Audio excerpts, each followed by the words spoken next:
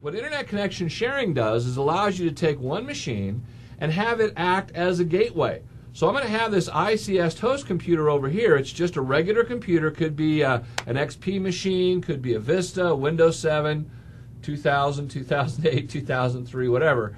And what it does is it hooks directly into this little DSL or cable modem.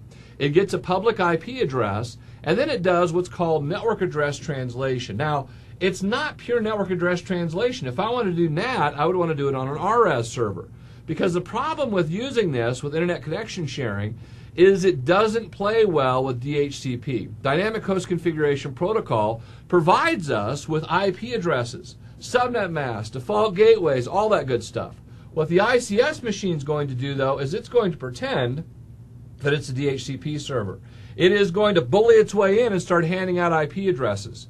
It's also going to identify itself as a default gateway and as a DNS server and as a WINS server. Because what will happen is, is that it will go in and you say, oh, I want to query, find out where www.stormwind.com is. You will send it to that ICS host, and that ICS host will then forward it out to a DNS server and then get the answer back and hand it to you. So, I mean, it's, it's okay if that's the only machine that you have. But the problem with the biggest problem that I have is number one, it doesn't work well with DHCP. So in a corporate environment, this is a nightmare. But number two, the problem is, is that that internet connection sharing host is connected directly to the internet. What does that mean? It means everybody's doing port scans on it. All the viruses and worms that are sitting out there just waiting to gain access, they have a free ride on this particular machine. So my recommendation is, is that you never, ever, ever, ever, ever, ever, ever hook the machine up directly to the internet.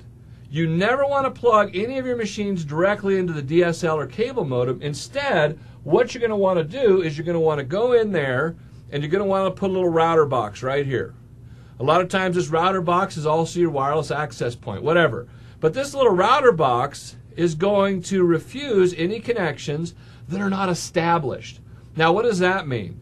It means that if I go out and I request a web page from a machine somewhere, the packets that are coming back are going to be flagged as established. They will be allowed through the router, and then they can go to our particular machine. Another advantage, or another disadvantage of ICS hosts, is that if this particular machine happens to go down, or it's turned off, none of these systems can go out and talk to the network any longer.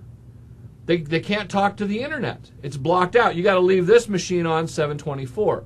Well, wouldn't it be a better idea to simply have a little router box here, hook the DSL cable modem into the router box, hook that into the switch, hook this guy into the switch, then everybody can go through and talk to the router box, which is fully compliant whether, whether if you're using DHCP or this can actually act as a NAT device that acts as a DHCP server. It also does DNS proxy for you.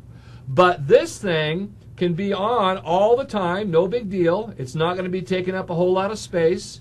It's not going to suck down all the juice like a regular computer does. And it's not going to be vulnerable because by default it firewalls all the traffic from the internet. So internet connection sharing, not really a good thing.